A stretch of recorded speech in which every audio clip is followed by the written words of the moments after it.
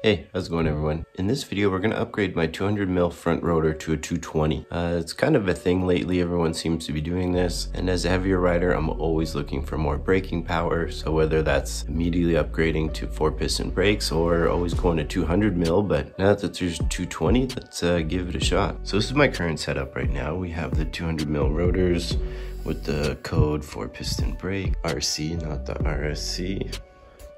So let's take these ones off and then we'll go from there. So for installation, you're gonna need the 220 mil rotor, a 40 millimeter uh, mounting hardware, Loctite for the screws, and then a five mil, yeah, five mil Allen key, and a T25 Torx. So first things first, let's get the wheel off.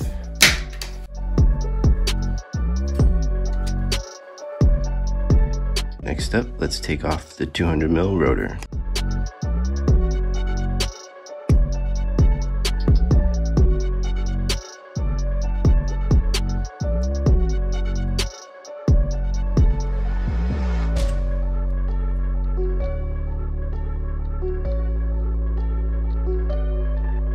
That one is stripped. I'm gonna have to go take care of that. So before installing the 220 mil rotor. I'm gonna give the hub a good clean. Just make sure there's no grime or gunk or anything so that we, nothing's gonna stop it from being screwed down properly.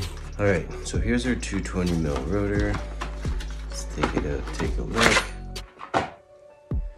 So as you can see, is quite a bit bigger than the 200. Obviously 20 mils bigger. Hopefully this gives us a lot more stopping power and modulation and hopefully doesn't heat up as much because there's more surface area for those long descents.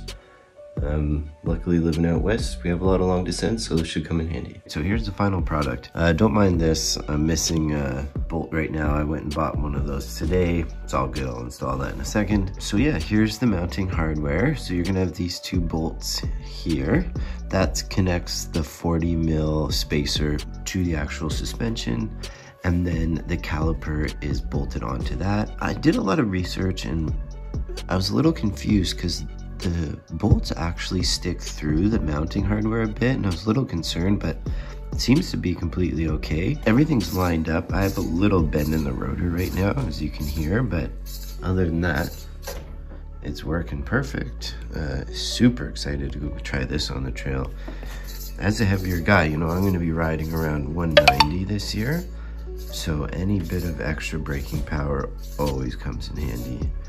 Um, they're massive dinner plates. They're huge. I'll show you comparison. Well, I showed you earlier in the video comparison. Yeah, super excited to give these a shot. All right, so that's it for this video. If you guys have any questions, just leave them in the comments. Yeah, I think more riders, especially guys like me are you know pushing 200 pounds.